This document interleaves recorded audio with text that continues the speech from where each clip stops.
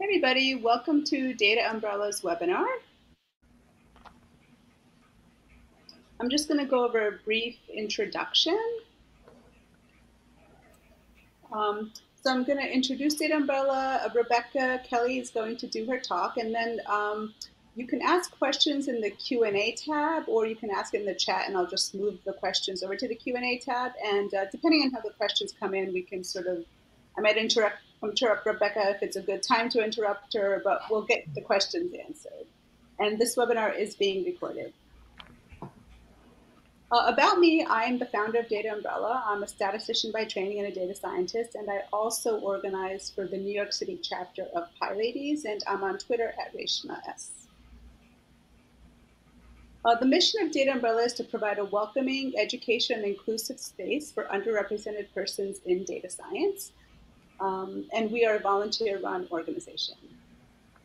Um, PyLadies is a international group of Python ladies and gender minorities, um, and you know it's basically got Python and all, all things related to Python. Um, check check out our homepage and follow us on Twitter.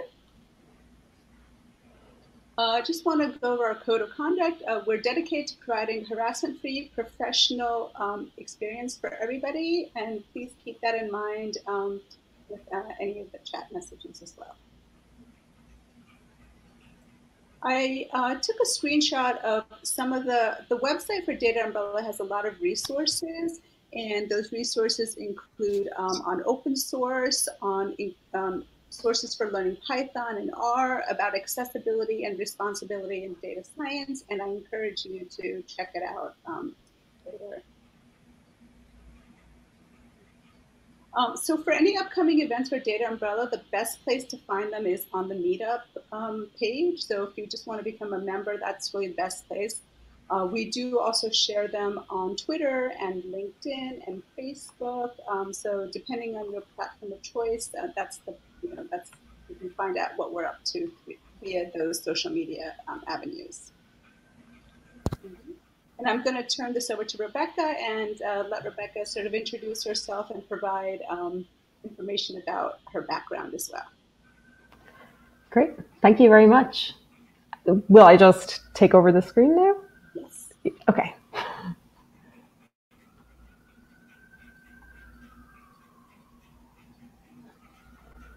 Okay. So, can everyone see my screen here? Let me just. Oh, actually, I've lost the questions now that I'm in this view.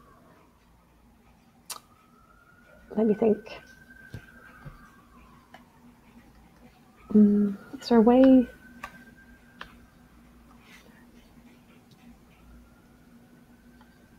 Oh, maybe I can pop this out.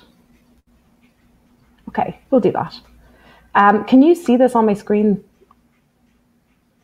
Okay.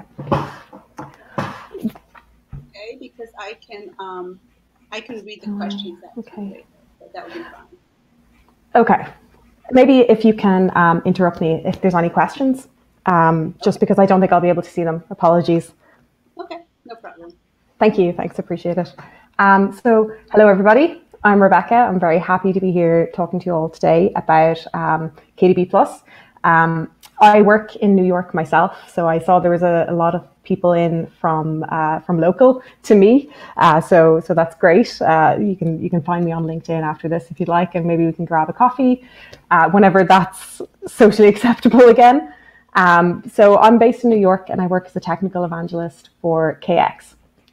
Um, I've worked with the company for, uh, I was just actually chatting with this. I've worked with the company for about five years, started as a developer in um, KDB Plus, worked my way up to a solutions architect, uh, left, um, went back to college, did a master's in machine learning in the University of Edinburgh in Scotland, which was great. Um, and then I came back to work in New York as the technical evangelist. So I've, I've had a bit of a journey kind of in between then with the with the company. I worked in a few different places, um, location wise, which was which was fun. And I'll, I'll actually get into that a little bit when I talk about uh, some more about the tech. So the way I've approached it today, um, I did obviously, you know, look around and, and I, I, saw that the mission statement for uh, Data Umbrella is to provide a welcoming and educational space. So I've really tried to focus on um, putting as much educational content as I can in into this presentation. So I'm hoping to provide a very good grounding on, you know, what is KX as a company, what does the technology look like, who uses it, what do they use it for, and then what does that mean for you um, before I jump into the demo. Uh, and the demonstration will do my absolute best to cover as much as I possibly can of this language, um, which is quite uh, quite broad. So so hopefully uh, you'll come away with a very good understanding um, and and and knowing where to go for more resources. So KX is a division of First Derivatives. Um, KX is a software company, and our, the software that we produce is a high performance time series database. So we've actually been around for quite a number of years now. Um, we started in the finance space, so kind of you know fintech, um, and really kind of focused on the problem of how to deal with big data. So when people talk about big data, they tend to kind of split it into these uh, the V's. So the, the, the four V's. There's uh, volume, velocity, variety, and veracity is typically the the kind of primary four that I think IBM first brought out. Um, and if it helps you to think about big data in that way, um, then you know the, the place that we work in would be the the high volume and high velocity space. So anywhere where there's huge amounts of data coming at you very very quickly is where we would typically um, where our technology is most commonly used. While we did start in finance, um, that's not uh, that's not the only place we operate now. Um, we've actually been doing a lot of work in other verticals. So some of the ones that we've probably gotten the most uh, traction with would be um, IoT and manufacturing. Uh, so I've kind of kept the focus on finance for a lot of this presentation because it being New York, um, certainly for for us and the people that I that I work with in this uh, in this place in this time zone, uh, it, it, tends to be a lot of, of finance related stuff. But like I said, we are kind of working in these other verticals, and it's actually really interesting to see the the the, the difference and the similarity between the data sets. So, if you think about finance, um, the one way in which it would be very different from something like IoT or manufacturing is the uh, the peakiness of the data, if that makes sense. You know, if the markets are busy, you get a very busy day, you have very very high data volumes. Um, Whereas in IoT or manufacturing, you tend not to encounter that same uh, distribution, let's say, of the data. the way in which they might be very different is that with finance, you can get downtime. You know, there's there's times when you're not, uh, you know, so like at weekends, the markets might not be open. Um, whereas in IoT or manufacturing, it's pretty much 24 uh, 7. But they are united in that they have um, tend to have you know huge volumes of data and very fast velocities. So you're talking about uh, sensor readings every every like millisecond coming off multiple multiple devices and kind of aggregating that together, um, which is not so dissimilar to capturing all of the, the data from the markets and trying to action that in the in the finance space. So just to lay a little bit of the scene, um, the technology. So anybody who might already be familiar with a little bit the technology will be may have heard people refer to it as either KDB plus, KDB, or Q. Um, so this is my little infographic. You'll see I'm quite fond of pictures to tell to to tell stories. Um, is this, and, and, this to me represents uh, how you can think of the software. So KDB plus is the database layer that's where the data is stored on disk. And then Q is the interface around it. So that's a Turing complete programming language that you use to actually query and retrieve the data from the database. Um, and that's the language that I'll be showing you in the demo in a moment. Again, more pictures because pictures tell a thousand words. Um, I'm going to break down, I suppose, some of the key features of the language and uh, in, in a way that I hope will help um, understand how it might be different to or similar to other languages that people have worked with before. so it's a functional language. Um, that means that you know there, there's no, it's not write, compile, test. Uh, you're you're actually working interactively with the data. Um, similar to to to Python in that sense, and that you're you know you can start with the problem, you can uh, code around it, you can work your way through it, and it's certainly.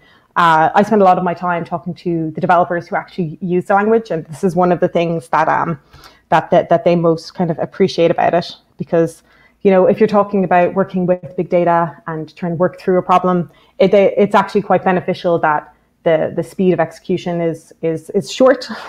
you don't have to go and take a big um, tea break every time you want to uh, to, to, to run some code, for example. Um, it's a columnar based database. So if you're familiar with other databases like um, MySQL, for example, those are typically um, although it's becoming more common that they're columnar based, but those are often uh, row based databases.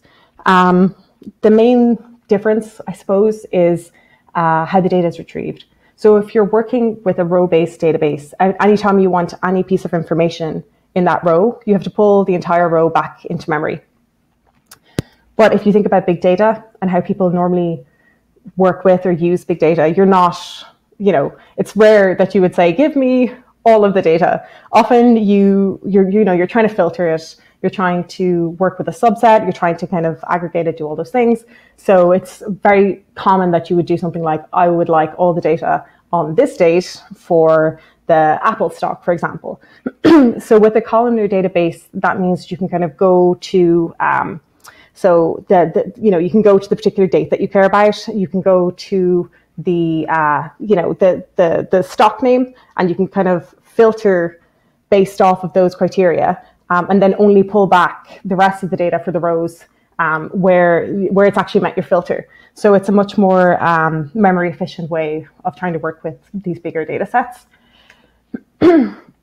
it's very fast, um, and yeah, I, I, like to throw this one in. I, I upgraded my car from the first version because we actually do work with Aston Martin Red Bull Racing. Um, so if you kind of think about the analogy between the the two cars, that's kind of the, the performance scale that we're looking at. Um, it's concise as a language. So that's what this little target is trying to indicate. Um, that, that doesn't really, that sounds kind of like a throwaway comment at first, but I suppose the difference is you're not writing pages and pages and pages of code to achieve a particular result. Um, it's often a case of you might write one or two lines. Um, and that means that, you know, you, you spend more time thinking about what it is you're trying to do. And when it comes back to, you know, supporting it or actually maintaining that code, um, you're working with a much smaller kind of code set, which is uh, often quite beneficial for, for, for these kind of systems. Uh, this is a table. Sometimes people don't know what this is. Um, tables are a first order data type in the language. So it's a valid uh, statement to say table one plus table two, and that will, depending on what you have in your tables, work. Um, but this is really to emphasize the fact that the language and the software grew up being focused on the problem of data as a as not not just kind of a secondary consideration, but as the the primary motivation for the software. Um, so so tables are are really uh, front and center.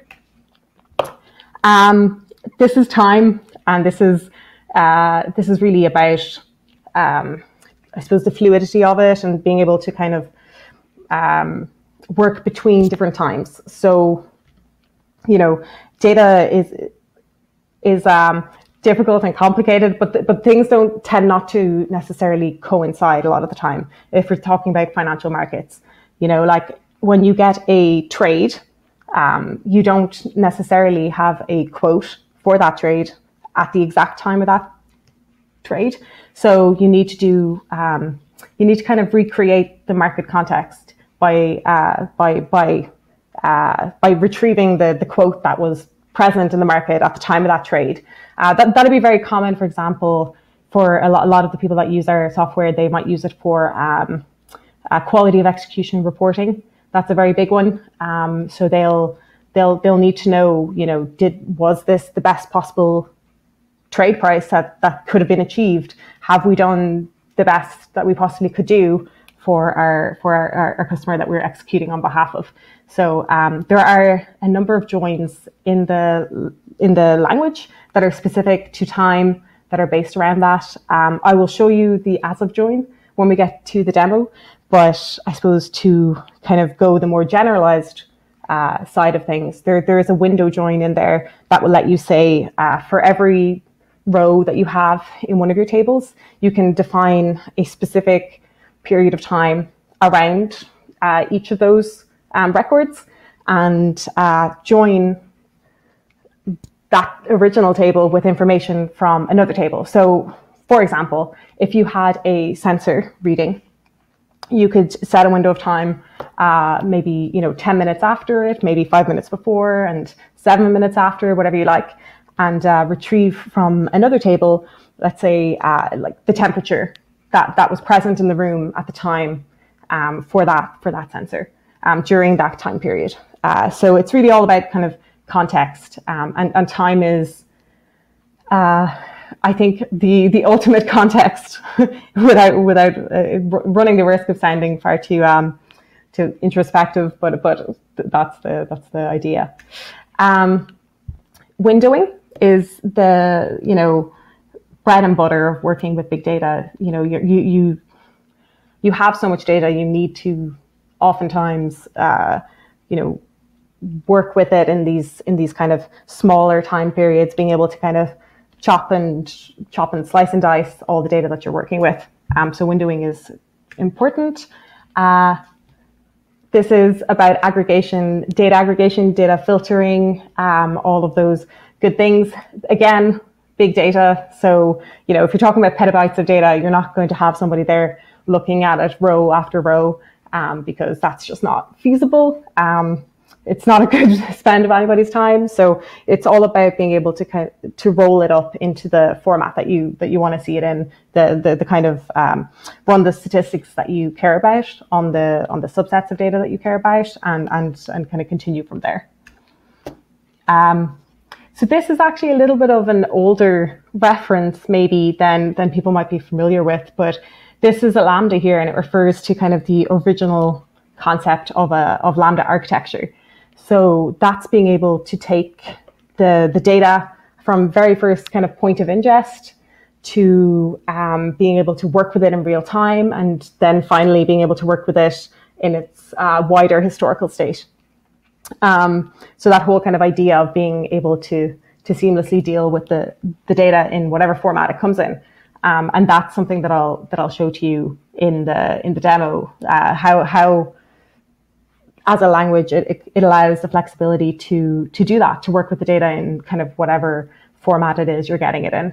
Um, the benefit of this as well is that you know you're not writing three different sets of code. If you have a particular function that you want to use with data that you want to apply to the data, you don't have to write something special for um, for if you're if you're working in in real time another for in memory another for on disk and maybe another for streaming that's that's not something that that you have to um, to worry about uh, this is it looks like a waterfall it's supposed to be a stream i wanted to highlight the uh, the, the streaming capabilities because i think um, for people who already have a good range and breadth of languages, uh, as, as I imagine may well be the case with this with this group of people here. Um, it is certainly worth highlighting the, the, the streaming capabilities of the language because I think it's uh, it's really a, a, place where we excel um, and where maybe there's not always a great fit with some other languages. uh, so I've said a few times about how great it is, and obviously I would.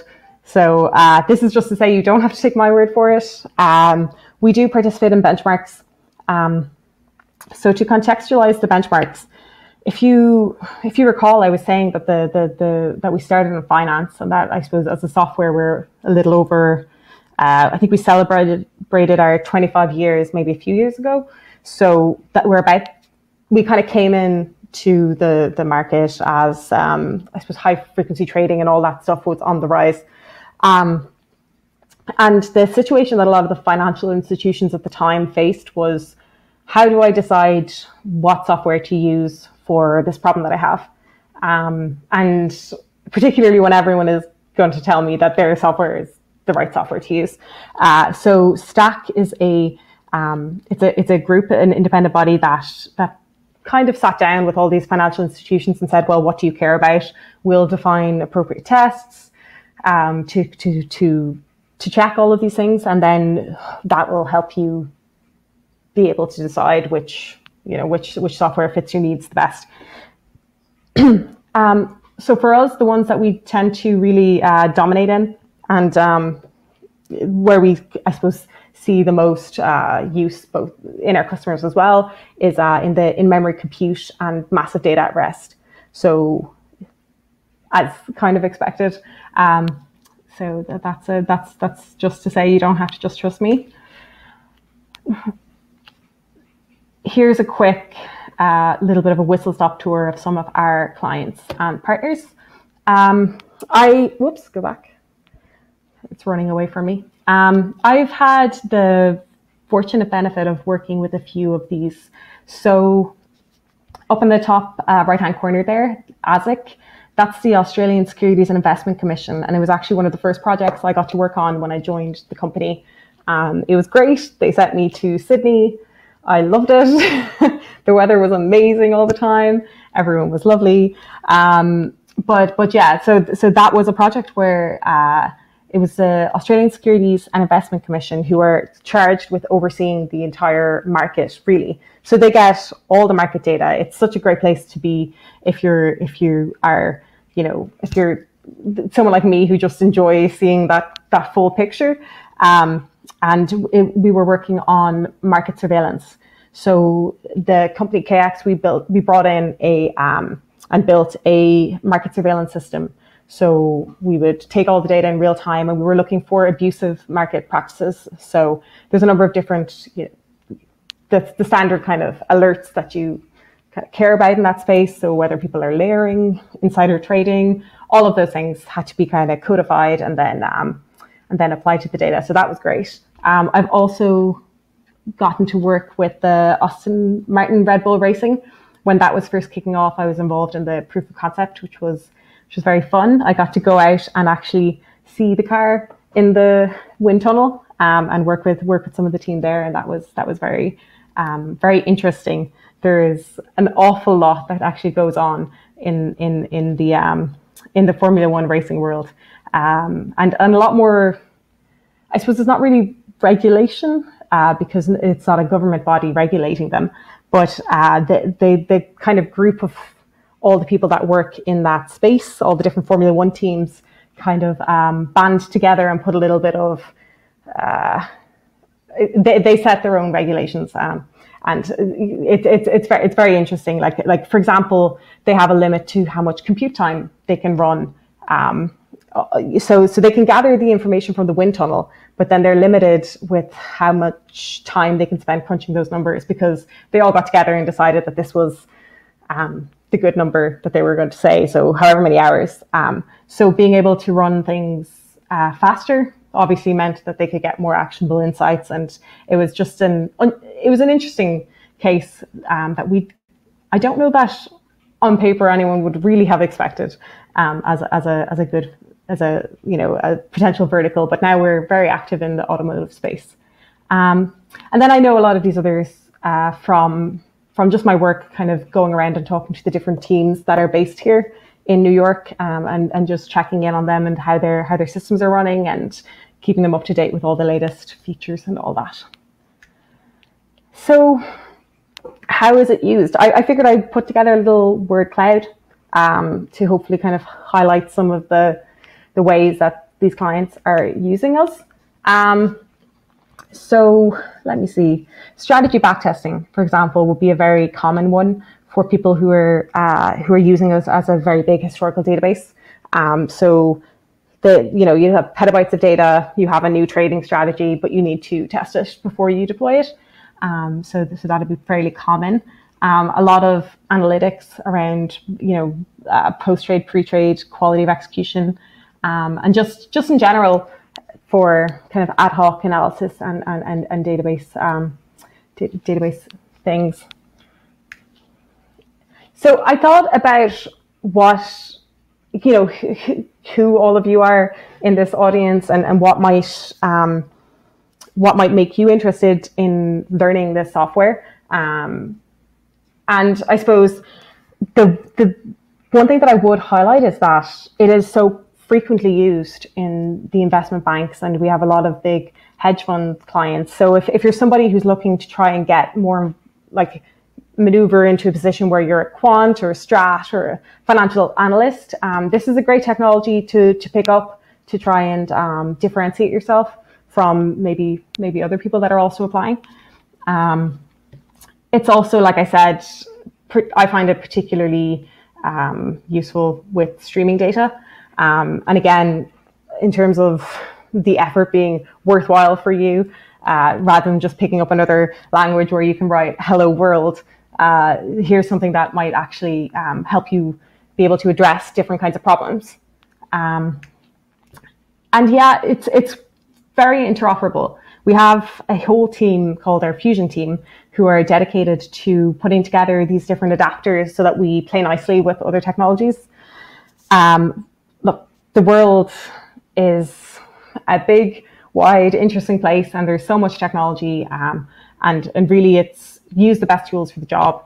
Um, you know, for you know, we're, we're not going to rewrite backprop in our in our software. Uh, you should keep using probably Python for that um, uh, and, and, and, and you should have that freedom.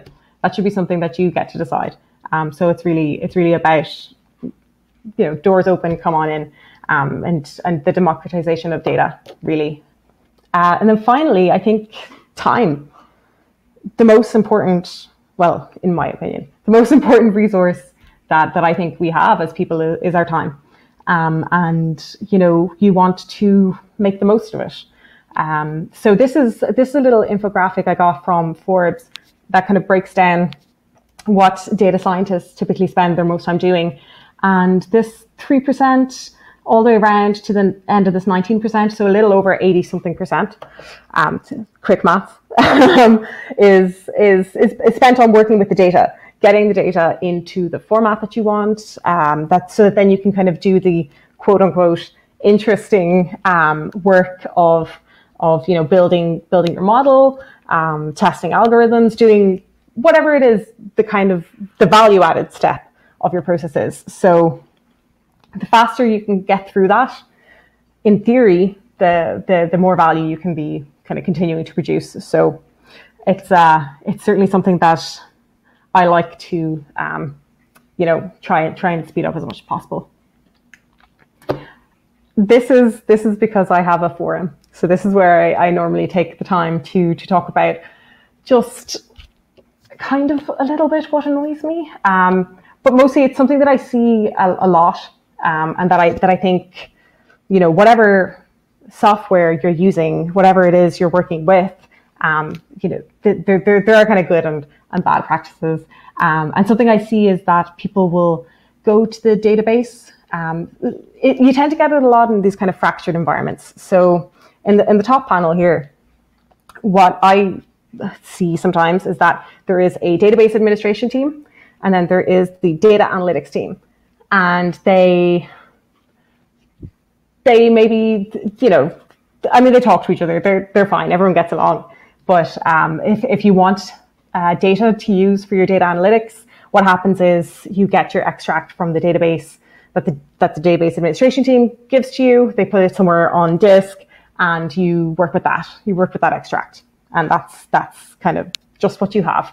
Um, but as a data scientist, I find that very frustrating because I, you know, you like to be able to test against other conditions, against other edge cases, and in other situations. So like I might have taken all the information for Apple, but now I want to check for Microsoft, and now I'm caught in a in a two week request response um, situation, and it it it it annoys me. And also from a from a database uh, administration perspective, this isn't great either because you're um, you know you're losing as soon as you take the data out of the database and you put it somewhere else, you're losing data governance. You know that that audit trail for who accessed that data is gone. Um, so my recommendation, and now it doesn't have to be our database, but you know the best thing that you could possibly do to really empower people to do the best job they can is to give people that freedom to to work directly with the data and to um, to be there with it. So I will get off my podium now and uh, just move on. So I'm aware the audience here is is quite familiar with Python. So I wanted to particularly highlight um, the Python interfaces that we have. So we have two, and the one that I'm going to show you in the demo is going to be this one on the left-hand side that we call Embed Py. So that's where it's, it's kind of what it looks like. You'll see I reuse this pictographic technique of, of putting, putting the thing in. Um, but, but effectively that's what it is. It's a, it's a Q process that's running that has a Python process embedded into it. Um, so they share the same memory space and it's really very efficient. Um, and then PyQ is the flip side. So it's a Python process that's got um, Q embedded in the same uh, memory space. Uh, so the difference would be the prompt that you're working with. So with Embed Py, the base language is Q, and with PyQ, the base language is Python. Um, and that's the main difference. Rebecca, this might yes. be a good time to ask this question from. Oh, go for it. Would love to know the reason why Q was written. Were there some time series data access patterns not supported by SQL? Mm. Yeah, that's a great question. Um, and yeah, I think that was effectively it. I think people got tired of trying to figure out how to um, how to stitch the data back together to get that context. So I, I'd mentioned the as of join, I'll show it in the demo, but the idea is that you can have one table, like your trade table, and have all of those um, different uh, times at which all those trades occur- occurred. And you can just say, oh, give me the quote table as of the time in the trade table. Now, I know there have been that, that, that some of these capabilities have been subsequently added to some of these row-based ones, um, but but the, the, you know performance-wise, it just wasn't the same. If you're trying to make a decision about um, you know how much credit do you want to extend somewhere, that's not something that you really want to to leave waiting for too long. Um, you know, the, these are the kinds of things that can that can end up hurting you financially. The the, the time horizon of, of when you can get those answers. Um, and as well the ability to to um, to chop up the data and bucket it um, appropriately is is also very uh, kind of fundamental to the language as well. And I, I think that that has been um, one of the real drivers too. Um, but yeah, it, it, it was it was kind of a two pronged thing. It was being able to provide the kind of common analysis techniques that, that, that, that are native in the language now, such as the, the, the binning, the aggregating, the, the time contextualized joins. Um, and then also it's the, the speed at which you could perform those operations.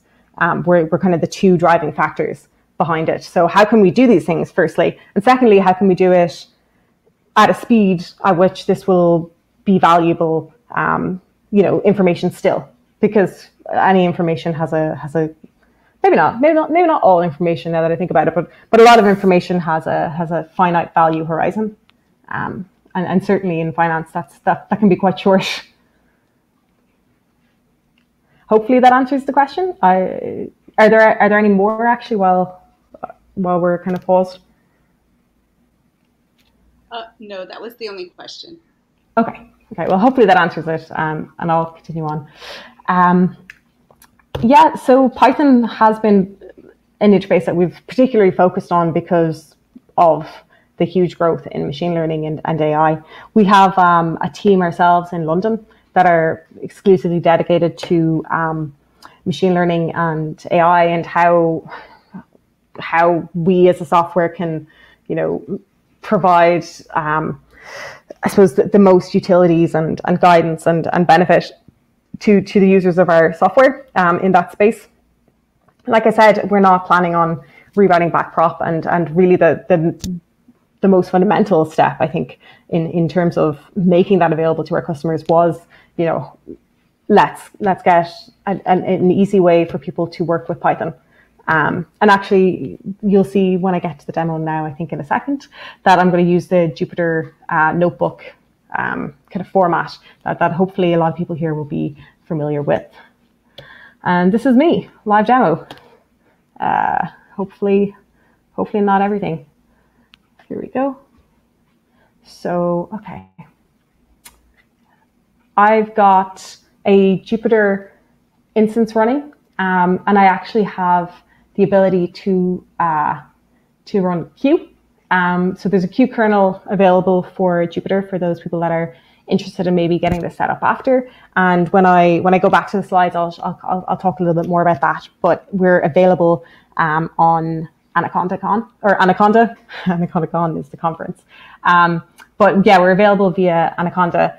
Um, and I think actually in the resources that I that I sent on that that I think was linked in the announcements um, is the the link to Embed Py, and it goes through the um, the installation and setup. And there's an uh, and yeah, hopefully that'll um, kind of help you after this if you want to try reproduce some of this. So um, the demo that I'm going to go through, I'm going to try and give you the biggest whistle stop tour I possibly can of the language. Um, so I'm going to sh show you, uh, I suppose, the the basics of it as a as kind of a column based language and and really being kind of vector oriented. It's quite like um, uh, NumPy or NumPy, whatever way people want to say it. Um, and then you know when it comes to the, the table querying, um, I suppose again with the kind of Python analogy, it's it's it, you know I'll, I, I actually do a comparison between um, uh, a query in, in pandas versus in um, in our language. Uh, we actually have an SQL-like syntax that we refer to as QSQL uh, for for that. Um, I'll show real time, so uh, data that like working with data in memory, um, working with data on disk, and uh, streaming data, and then finally the Python interoperability. So it's very ambitious, uh, but but but but hopefully it'll be a good um, introduction. So I was saying that it's like uh, NumPy. Uh, it is. It's it's very much vector based. So in this cell here, all I'm doing is uh, creating a vector um, or an array uh, that I'm calling A, and then I'm just adding 10. And you can see that all the operations are um, are kind of pairwise out of the out of the box. Um, in this case, I'm taking the, the kind of the vector B and the vector A and I'm adding them together and that's just kind of automatically working pairwise. So that's, uh, that's pretty neat um, and useful in, in, a lot of ways. Um, but moving on and actually getting our hands on some data, uh, I have preloaded some um, simulated trade and quote data. So this is what my quote table looks like. I've got my symbols, the time, and the, the standard kind of quote information. And similarly, I have my, my trades. Um, they're a pared down version because we don't, we don't need a lot to kind of go through this. Um, so in terms of how much data I'm working with, I've got about 5 million in quotes and 1 million in trades. Uh, I also, because I'm running this with um, Embed Py, I've also got the same data in Python so that I can hopefully show a little bit of the, the kind of side by side direct comparisons. So just to prove they're the same, here we go. Um, the good thing is because we're working in this uh, Jupyter Notebook environment, we can actually uh, we can run some cells in Q and some cells in Python by using these neat little um, magic commands. So I'm going to recreate a very common um, requirement for, for financial data, which is to create a, uh, a volume weighted average price, referred to as a VWAP, um, broken down for each of my different stocks. So normally people would kind of create this at the end of the day as an indicator to use for, for some for some different models. So if I do that in Python, you can see it looks like this. Um, now, obviously, I'm very aware. I'm talking to a group of people who are quite um, Python literate. So um, any suggestions on on refactoring this are very welcome. But this was this was my attempt at, at, at doing this in in uh, pandas, Um, and here is the equivalent in, uh, in Q. So you can see uh, the SQL-like syntax. So select the columns we care about, um, broken down by the columns we want to break down by from the table we care about. Um, to show some of the, so these items that are highlighted in green are some of the keywords in the language. So they kind of do as you as you would expect. I don't think there's anything here that that that people are are struggling with, but any questions do just shout. Um, wavg is weighted average. Um, so yeah, so it's very easy to kind of get that same breakdown just to prove that those are the same. Um, and a more complicated thing that I didn't even honestly attempt to do in, in Python, but, but if somebody knows this, please do send me on the code, is a time weighted average price.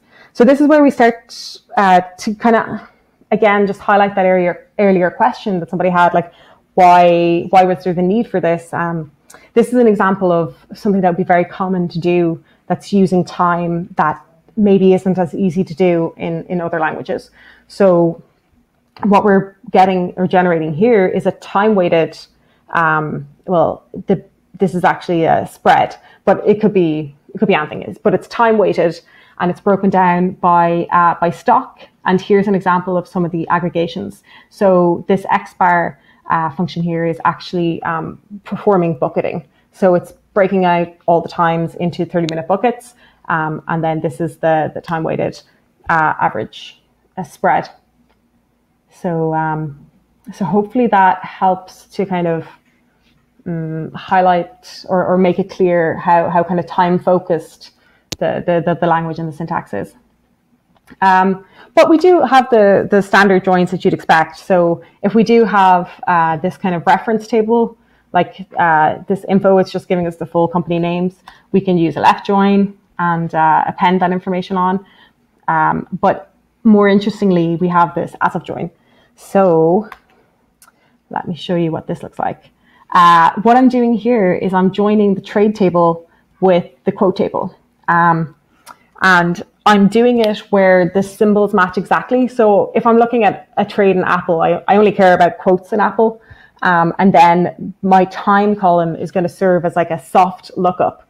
So I'll see if I can find an example here in the in the in the like directly in the things. Okay, so, for example, here, there was a trade that happened in Apple at 9.30 and then all of these uh, nano milliseconds later. Um, that, that actually, that's another thing that we have native to the language that um, maybe not a lot of other databases support. It's just the granularity of time that we support. Um, but yeah, so it happened at this time, and you'll see that this quote information that has been joined on is actually from a quote that occurred uh, just like one um, one increment beforehand. Um, so while this was obviously very close in time, that could be much much earlier in the day if you're, if you're looking at something that's maybe particularly um, illiquid. Um, and that's that's kind of the idea behind it, being able to kind of bring that context in and say, well, this was the quote, and therefore, um, therefore this this works like that. So just to show the tables. Um, the benefit of being able to do this kind of analysis. So now that I've made this table um, TAQ that has my contextualized trade data, I can use that to perform different analysis. So like, like I said, a very common one is um, around the quality of execution. So I'm going to go and I'm going to pull out all the cases where um, where that price that I traded at wasn't within the bid or ask. So this is something unusual um, that really should be justified because you know if it's outside the bid or ask it you know there's a very good chance that this wasn't optimal um, in terms of its execution and so that needs to be addressed for the clients um, the neat thing about it being a programming language is that you can put code kind of directly into your breakdowns um, so if you're used to maybe some other languages, you know, the, the breakdowns often have to be kind of existing columns. So this would be maybe a two-step process. You'd have to make the column and then break down, uh, then do your breakdown on the kind of the next line, um, working with a new table. But because it's a, a, full programming language, you can put kind of whatever you, you want in here. um, to, to kind of get your breakdowns. So here I'm deciding if it was a valid um, trade or not by deciding, by checking if the price was within that bid or ask from the quotes. So these cases here where it's zero, this is a Boolean value, are telling me that that's not true. Um, so there was 84 cases where um, trades happened that were outside of the, the quote in this uh, in this uh, stock. So that is where, if I'm the person charged with, um, you know, uh, ensuring uh, quality execution, that's where I would be starting to to look um, as as, as as my kind of basis. Um, so this was a quick example of the syntax. I was working with in-memory data, um, but now we're going to jump to on-disk data. Uh, so I have much bigger tables on disk. Now, having said that, I am just running off of this. Um, let me see about this Mac. This will tell you. Yeah, so this is what I'm working off in terms of my system spec. I'm not connected to anything else in the back end here. It's just my own laptop, um, and I have some some data in a database uh, that I've that I've generated that, that that's running locally. Um, and in fact, I've got about 95 million quotes and 19 million uh, trade records. So I can show you what they look like. Uh, you'll notice that these are schema-wise. This table is the same as it was in when we were working with it in memory, with the exception of this new column here, which is the date, which signifies the date. So normally in a kind of a sta standard tick capture system using the technology, um, people would typically accumulate the data intraday in the in the in memory table, and then when it comes to the next day, they will um, they'll basically purge that, write that out to disk, and then uh, start fresh. Uh, so just to to add a little bit of architectural context to it. Um, but we can do the same things with this data that we have on disk as we did with the in-memory data. So we can get a breakdown of, of how many, um, this count I is just going to tell us how many records we have for each day. Um, you see the syntax isn't really any different. Um, and we can actually run, let's run a, so another thing that people would normally do at the end of the day is you'd kind of create some summary statistics or, uh, you know, from the, from the trading day that just occurred. Uh, and it's very common for, for candlesticks to just create the, the open, high, the low, and the close, um, along with this VWAP here. Um, so we can just build that on the fly. So just a reminder again that we're working off of the, I think 19 million uh, records or something. And it doesn't, you can see it doesn't really take an awful lot of time to, to work with this, um, which is, which is nice. Um, so now that we have this data in a, in a daily format. This is exactly the kind of data that we might want to feed in to a model if we were trying to to have a look at, um, you know, uh, beginning to understand the the market behavior and, and where things are. So I can take the actual um, the series, so the the the end of day uh, VWAP for each stock and extract it from that table um, and get it. So this is a, a dictionary. So it's a, a, key value pairing of of the the key being the stock and then the value being the the, the price series um, for each day from the daily table. Um, if I want to just see it for one, uh, I can do that. So this is what the Apple price series looks like. Um, getting again to the statistics of it, we can look at how that correlates with Microsoft.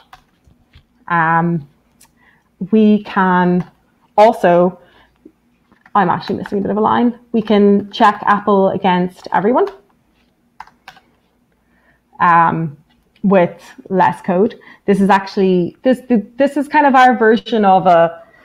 Oh, it's one of our versions. We have a few different ways to to do this, but it's what we call an iterator in the language, um, and it's kind of it's our way of doing loops. You know, you don't really write for loops in the language. You you iterate over things. Um, so I'm so what we're doing here is we're we're we're checking the correlation of Apple with each item to the right. That, that's what that's doing, um, which is our our our our, our, price series for for each of the different stocks. Um, and then finally, we can actually go even further and check the. So this is looking a little funny because of my formatting, but this is a this is a table. If I zoom out for a second. oops. Yeah, so there you can see it looking a little bit more like a table. Um, but I will I will go back in for, for ease of readability now. But just to highlight that this is less code than when I wanted to just do it for for the two um, individual ones, but yet I'm doing more. So it's um, hopefully a little bit of a peek into the into the kind of elegance of the language, so to speak. Hmm. If there's no questions on anything so far, I'm going to jump into streaming. Um, and this is where, oh, sorry. Question. Oh, great. Okay. Uh, a question from Aditi Is Q coupled with KDB, or can we possibly configure a relational database we already have to work with Q? Um, so there are different, you might have seen um, the kind of fusion piece. I mean, you can use it just as a programming language if that's all you want to use it for, for sure. Um, we have a number of different drivers. So there's like an ODBC driver. There might even be like one or two different versions of that. So there's one by Simba and there's another ODBC 3 one. Um, there's a JDBC driver. So like if you're trying to work with relational databases, yeah, you can you can do that. You can um, you can do your extract from those and, and bring it in to kind of to this space.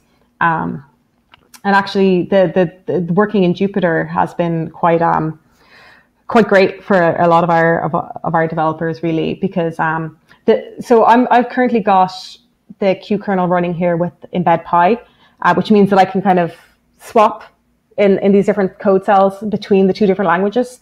Um, we also have an interface uh, embed R. So that's, uh, my accent can be a little heavy, but that's R for Romeo. Um, uh, if we're going to go phonetic with it. Um, so I mean the programming language. Uh, so so if you have both loaded into your uh, Q environment and you're working in Jupyter, you actually kind of have this this great kind of polyglot environment where you can have a cell in R and have a cell in Python and then swap back to Q. And I mean, maybe maybe maybe someone's worst nightmare, but but it, it, it's quite it's quite helpful if you're if you kind of like to um, use a few different things. Um, like I said, best tool for the job and all that. Um, so a question. So Q mm-hmm. is language and KDB is a database. Is that right? Yeah, I mean, people tend to use them kind of interchangeably, but but technically, yes. So uh, KDB Plus is the is the um, is the database kind of so that so that historical uh, data that I was looking at would be written down in in kind of that format. Okay. Yeah. So I'm going to let you go back to your presentation, but I just want to add that uh, JupyterCon is coming up. So if you want to submit a CFP on how you use Jupyter for your work, feel free to. We can talk about it later. Oh, cool! Thank you. Yeah, no, I, I do I do enjoy it. Um, I, th- I think I think it's great. It's uh, yeah. I'm going to start on a tangent now, so I'll stop. But but yeah, we should chat about it. Um, so yeah, finally moving on to streaming. Um, so you we, we've already looked at this, and um, I had the the five million quote, the one million in trade. Um, so I can do you know the syntax that you saw before. Um, but what I'm going to do now is I'm going to subscribe to some data um, in on the back end, and you'll see that this is now changing. The number of uh, rows I have in my data is is changing as I get new data into the system. Um, so I can still work with that live data, even though it's it's streaming and, and calculate these kind of uh, metrics on the fly. So I can get my total count broken down by each stock from my quote table, um, and you can see that those are changing. So this is where I normally go into my architect mode and talk a little bit about um, good system design. Uh, so there's a very big difference between um, streaming analytics and kind of these ad hoc APIs um, when it comes to uh, what effect it has on the system. So I'll, I'll try to clarify. The quote table here that we have is going to be increasing as the day goes on. So every time you get a new set of data, that's appended onto the end of your quote table and that continues to grow. So that means that when you're running this query, that's going to take different times to complete depending on what time of the day it is.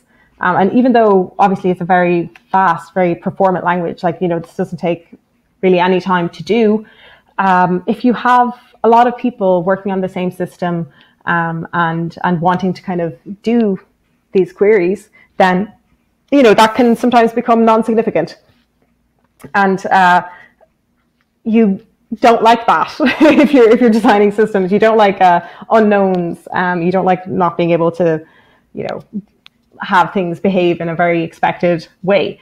Uh, so what we do in the kind of KDB world is we we we use streaming analytics. Um, so streaming analytics are really just getting to decide what you want to do with each bit of information you get. So if I get a new um, a new quote message, uh, what I'm going to get is I'm going to get a little mini table that will have some amount of quotes. So that could be one row or it could be many, many rows. It depends on kind of the upstream system. But um, I decide what I want to do every time I get that message. So that means that, um, well, actually, I'll just show you here. So I'm going to make a new streaming function and it's going to happen every time I get a quote message. Um, so this here, the curly brackets are the is, is how you write a, a function in um, in uh, in KDB slash Q, and then this here is the the parameter. So I'm saying that this is a function that takes a parameter Q, and then I'm writing the code for what I wanted to do. So I'm going to create a new table called Q total that's going to for every kind of message I get in for the quote table. So that'll be um, a series of rows or one row or whatever um, I'm going to calculate this. So I'm going to get the total count broken down by each stock in just that message. So that could be like three Microsoft messages and uh, one Oracle and two IBM. That might be what came in in that bundle. Um, and I'm going to then uh, add that on. So this is an example of kind of adding two tables really um, that, that I kind of talked about before. I'm going to add that on to this Q total table um, so that every time I get a new message, this is updated. Um, so the benefit of doing that, just to show those two things are the same now, um, and they will continue to be the same, is that this table here that I've created, this Q total table, is small.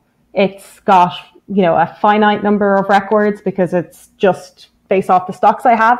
It's got a pretty well understood um, execution time you know, because I'm, I'm it's it's pretty small. It's not really going to um, to hold up anything. Um, but yet, if everybody wanted to come and retrieve that from my process, that you know, this is this is this is going to take take the same amount of time, no matter what time of the day they put this in, as opposed to the first query, which will have you know different different runtimes at the end of the day versus the beginning. So streaming analytics are, are just uh, very, very powerful in that sense, in that you can control the system in a very, um, in a very, I suppose, discreet fashion. Um, and, and it does mean that then you can, that this is kind of the whole framework that we use for, for leveraging um, action and responses. So if I, you know, I could have something in here that would check if, you know, if the stock is um, Microsoft and if the price is below this, then I'd like you to go and make a trade or or or do something else. It's this whole kind of um, event trigger um, kind of paradigm that, that that that you can then use, um, which is which is really kind of the powerful uh, thing with with streaming analytics, in my opinion. Um, and I'm also just going to do something else here. I'm gonna I'm gonna add to the trade table a summary that's going to um, keep a running VWAP.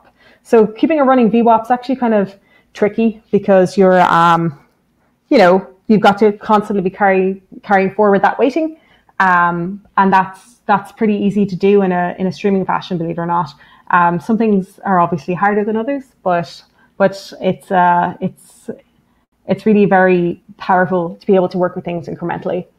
Um, so if you're interested at all in kind of capturing real time data and maybe driving uh, analytics or decisions off of it, uh, you know, uh, it it is very fun to play with um, and it's pretty easy to kind of set up different um, different connections. Um, the audience being what it is, I thought I'd also show uh, some Python integration because we because we all we all like Python here, so that's great. Um, so I'm going to build a time series. This is a little bit more complicated than the one I did before. So rather than getting just the end of day price from my historical trade table uh, for each, or, or my volume weighted price over the day for each day, I'm, I'm getting an even more granular time series. I'm going to get the, the kind of opening price in uh, 15 minute time buckets uh, for each stock um, across all the days in my in my database. So this is built out that that 15 minute um, uh, bucketed time series for for each of my stocks, um, and then I can import matplotlib. So this .p.import is is is is doing that. So I'm just saying .p.import whatever the library is I want from um, from Python, and if I I'll show you what that looks like. That just says that it's this uh, module here. Um, and then I can use this kind of a syntax to, to, to, to, to use it. So I'm saying I want to go into plot and the function I care about is this figure. Um, and then this P, PYKW is saying it's a Python keyword. And I'm saying that associate the Python keyword of fig size with, with this input. So I'm kind of meshing the, the, the, the Q, um, the Q uh, variables into the, in, but, but leveraging the Python library. Um, and then I just extract the time series uh, for uh, del and I plot my, my, um, my figure. So that's obviously pretty straightforward. Um, the nice thing about this is that I can then use the very Q-like syntax of, of wrapping things up in functions and iterating to, to kind of go a little bit further. So I start with making my, my um, my kind of basic plot, set out the, the size and all that. And then I wrap all of this into a pipe, into a, into a little function. So this is going to take each of my time series. Um, like I said, they're a dictionary. So I'm pulling out the, um, I'm pulling out the price and I'm pulling out the, the, the symbol for, for um, each of my, sorry, for each of my rows of my, of my table um, and plot them kind of all at once. So that's the uh, this this each here is the um, is is, a, is another iterator in um, in, in in KDB. So it'll take any function and it will apply it to each of these. And and this time series here is the the table up above where I've got um, the sym and the price for each of the the different rows. Um, that, and they, those basically get passed through as a as a as a kind of a dictionary structure um, into into this, and, and then you can plot them all. So that's uh, that's a very quick whistle stop tour of the of the technology. Um, I'll flick back to the slides now, if I can. Yes, um, and just say that if it's available for non-commercial use. So if you want to use it for your own projects, doing whatever it is you would like, knock yourselves out. If you want to use it for academia, absolutely. We we have the citation page and everything. Feel free to um, play around with it. Um, and uh, in the resources that that were linked with the talk, you'll you'll see that there's um, some guides on on doing this uh, installation. Um, and for those people who might be interested in, in, in, knowing more about this or kind of getting getting more hands on, um, I, I understand that with the best will in the world, it's not always easy to to self motivate. It's certainly something I struggle with. Um, so just to say that we do have uh, free one day workshops that we run um, at least once a month um, in in uh, pretty much uh, at least three major time zones. Um, but certainly in America, we have at least one a month um, in the US time zone. So um, for people that do want to just come along. They're free. The, the one day workshops, the KX introductory workshops are, are free. Um, and so you'd all be very welcome if you'd like to come and uh, get get more hands on with it in, in a, in a one day training. So that was me. This is a picture of me. Uh, if anybody wants to stay in touch, please find me. I'm on. You can you can email me here, Rebecca at KX, if you have any questions about anything today, or if you just want to know any more, um, I'd be very happy to talk with you. And I hope that you found it, um, you know, interesting. And even if it's not something you want to pursue, hopefully it'll it has helped, uh, you know, broaden your horizons a certain a certain bit. Rebecca, would you be able to put the link to the training in the chat? Oh, yes. I'll do that now. Okay, that would be great. Yeah. So I might stop my screen share if that's okay, because I'm getting a little bit of inception. um, and where I'll find this. Oh, I popped out my chat. That's my problem. Okay. Um, okay. Um, that's fine. Um, all right. Yeah, I actually popped up my chat and couldn't remember how to get. To I, I am struggling a bit. it's okay. You know what I can do is I'm going to upload the video later, and so I'll put the link to the training in there, so people will be able to get it. Okay. Um, okay. There is one more question, which is are Q and KDB Plus open source, and how are the requests for feature enhancements taken? Okay, so they are not open source. No, um, it's actually a very, very, very small code base, um, and the so it's it's free for non-commercial use. So definitely do whatever you like in in, in your own time. Um, but yeah, it's not an open source uh, software. It's written in um, C, and it's all very very uh, terse. I think even I don't know. I've, I've seen a glimpse of it before, and it did not look like any C code I've ever seen. Um, but in terms of feature requests, it comes through uh, us here on the evangelism team. Anytime people say, "Oh, we'd like to see X, Y, Z," we feed that back in to our, our core development team, um, and we also have a um, we have a number of kind of support groups. So there's a, uh, a well, support group makes it sound very dramatic, but there's a, a Google group for, for people that you know are, are involved with it or want to use it or have any questions um, in the usage where uh, a lot of our more expert engineers will kind of respond back um, and there's also uh, we have a number of meetups and stuff so we well in um, in, in different times they would have been a much more frequent in-person thing um, but yeah, we have a we have different email groups for for those and a number of different tools that I didn't want to kind of get into too much today. Um, but like a, a, an IDE tool and um, a front end dashboarding tool um, that are that are also worth checking out. Um, that is um, it for questions. so I want to thank you first of all for turning off your air conditioning in the middle of the to reduce the sound. thank you so much. No and problem. Thank you for uh, joining us tonight and your presentation. It was, it was really great. No, thank, thank you all for, for joining and, uh, and thank you very much for having me. I was delighted to come and hope, I hope it was helpful.